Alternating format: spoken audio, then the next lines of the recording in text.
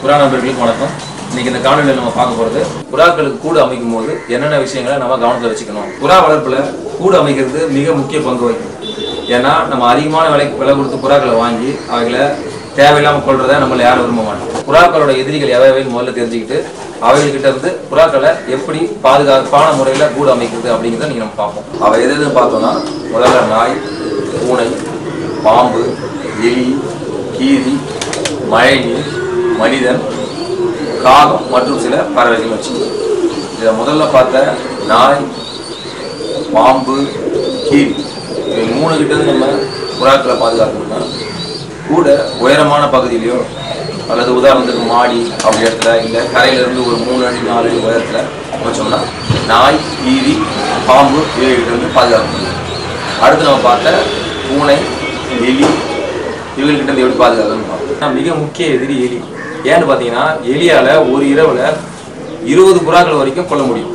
அதனால புறாக்கள் எலிகிட்ட இருந்து காப்பாற்ற புறா கூட்டோட தரைப்பகுதியை நல்ல சிமெண்ட் அமைச்சு மிக கெட்டியான முறையில் அமைக்கிறது மூலியமா எலிகள் எலிகள் உள்ள வரதை நம்மளால தவிர்க்க முடியும். அடுத்து நான் பார்த்த காகம் பார்த்தீங்கன்னா காகம் மற்றும் சில பறவைகள்கிட்ட எப்படி பாதுகாக்கணும்னு பார்த்தீங்கன்னா புறாக்கள் மட்டும் வந்து போகிற வழியை மிக சிறியதாக அதாவது ஒரே ஒரு புறா ஒரு ஒரு- ஒரு உள்ளே போகிற மாதிரியும் வெளியே வர மாதிரியும் அமைச்சோம்னா காகம் மற்றும் சில பறவைகள் உள்ளே போய் புறா முட்டைகளையும் குஞ்சுகளையும் எடுக்கிறத முற்றிலும் நம்ம தவிர்க்க முடியும். அடுத்து மழை.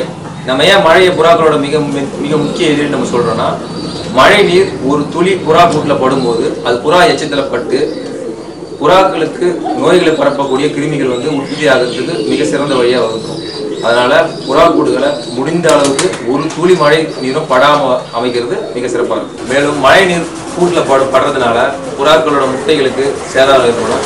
புறாக்கள் நனைஞ்சு அதோட வெப்பநிலை குறைவதனால புறாக்களுக்கும் சில குளிர்காலத்தில் வர நோய்கள் ஏற்பட காரணமாக இருக்கும். அதனால புறா கூட்டில் மழை நீர் படுறதை நம்ம முற்றிலும் தவிர்க்கணும் கடைசியாக புறாக்களுக்கு இருக்கக்கூடிய மிக முக்கிய எதிரி திருட்டு. அதான் மனிதன் நம்ம சொல்லியிருந்தோம். புறா வளர்க்கிறத திருட்டு தொல்லையால விட்டவங்க பல பேர் நமக்கு நம்ம நண்பர்களில் பல பேர் நமக்கே தெரியும். அதனால புறா கூடு அமைக்கும் போது அதிகமா நம்ம கண்காணிக்கக்கூடிய இடத்துல புறா கூடு அமைக்கிறது மூலியமா புறா திருட்டை குறைக்கலாம். மேலும் நம்ம நாட்டு ரக நாய்களை புறா கூடு சுற்றி நம்ம வளர்க்கும் போது எதிரிகள் வரும்போது அது குறைச்சி நம்மளை விழிப்புணர்வு ஏற்படுத்தும். புறா கூடு அமைக்கும் போது நமக்கு வர்ற எதிரிகளை பத்தி பார்த்தோம். இந்த புறா கூடு எதை எதை பின்பற்றி அமைச்சா நல்லா இருக்கும் அப்படின்னு பார்ப்போம். முதல்ல புறா கூடு வந்து எப்பயுமே கிழக்கு திசையை நோக்கி அமைஞ்சவாறு நம்ம அமைக்கிறது ரொம்ப நல்லது. ஏன்னா சூரிய ஒளி புறா கூட்டில் நேரடியாக படும்போது புறாக்களுக்கு வரக்கூடிய பல்வேறு வகையான நோய்களை நம்ம தவிர்க்க முடியும். இதை நம்ம அனுபவமாக புறா வளர்க்குறோம் நமக்கு நிறைய பேர் சொல்லியிருப்பாங்க. என்னோட குரு புறா சங்கர் பார்த்தீங்கன்னா நான் ஏதாவது நோய்க்கு மருந்து கேட்கும்போது மிக எளிமையாக சொல்லுவார். புறாக்கள் மருந்து கொடுத்து வளக்கூட்டில் போட்டு வெயிலில் போட்டுரு அப்படின்னு சொல்லி. அது ஏன்னா புறாக்களுக்கு நம்ம கொடுக்குற மருந்தை விட சூரிய ஒளியும் அதுலேருந்து கிடைக்கிற வெப்பமும் அதுக்கு தேவையான நோய் நோய்களை கொள்றதுக்கும் புறாக்களுக்கு தேவையான நோய் சக்தியை உண்டாக்குறதுக்கும் சூரிய ஒளி மிக முக்கியமானது. அதனால எப்பயுமே புறா கூட நம்ம அமைக்கும் போது கிழக்கு திசையை பார்த்த மாதிரி அமைக்கிறது ரொம்ப நல்லது. குறைஞ்சபட்சம் ஒரு நாளைக்கு ரெண்டுல இருந்து மூன்று மணி நேரம் சூரிய ஒளி டைரக்டா நம்ம புறா கூட்டில் படணும்.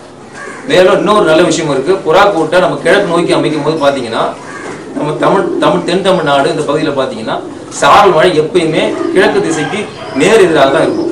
அதனால நம்ம சு- நேரடியா மழைச்சாரல் கூட்டுக்குள்ள படு படுறதையும் நம்ம இது மூலியமா தவிர்க்க முடியும்.